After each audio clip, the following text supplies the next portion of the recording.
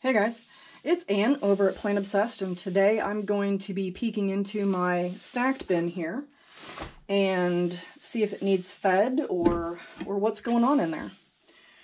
Alright, I'm gonna take off the top fluff here and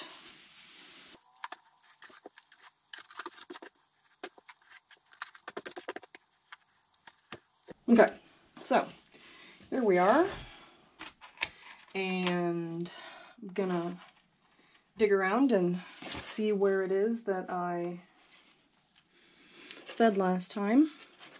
I think it was in this corner over here. But I think it's been a full like seven days. Might not be much left. Melon seed, banana stem.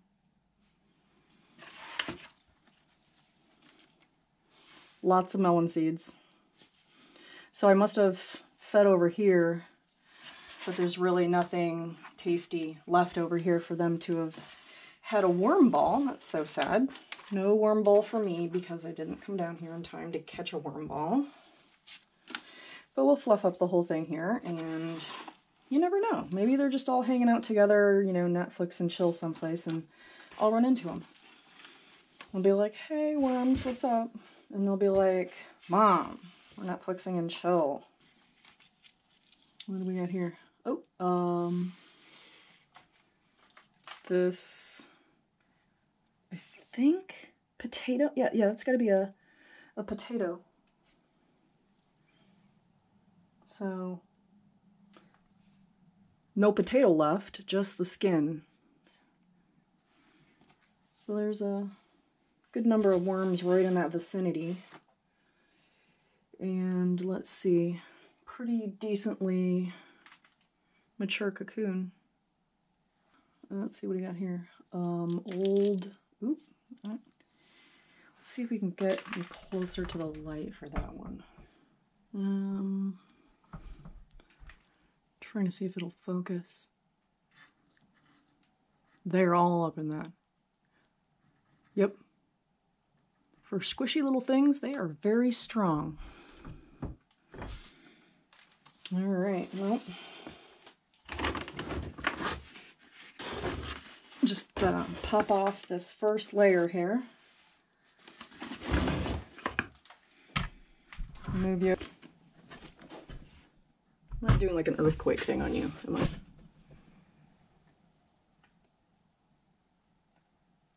There we go. So yeah, that's pretty typical for down here.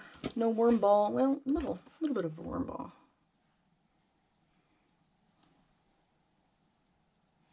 All right, well, this smells okay in here. And again, I don't really see any food. The underneath layer that I started last time, it's only been there for a week or so. I'm not going to mess with that, but I think I'm going to go ahead and I normally don't feed under here, but since there is a a third layer below now. I think I'm going to. Handful of paper. Little worm pixie dust. And then some worm gruel. Okay, eating down the middle. I'm to give them three glumps and some junk mail. Yeah, somebody must have sold my name or something. I'm getting a lot of junk mail lately. Who, who snail mails anything anymore? Honestly, I don't even read it. It goes right in the shredder. Alrighty, we'll put the other level back.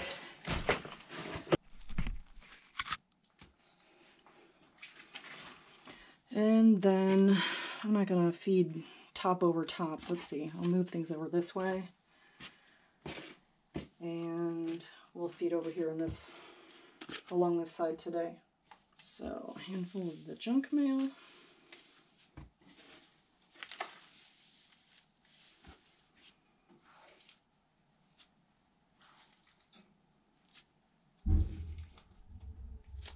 Three handfuls of goo.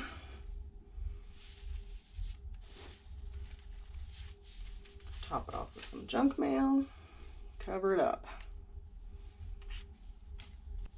And then one of my procedures for this bin is that I cover everything up because it is kind of, it's a shallow bin and just in case they decide to want to go wandering. I'm not sure if it's 100% true or not, but I think the dried paper keeps them from wanting to wander.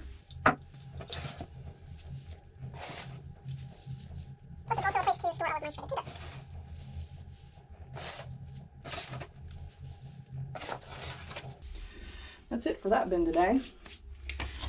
All right, well, if you don't mind, please hit the thumbs up button and poke the subscribe button if you have not already.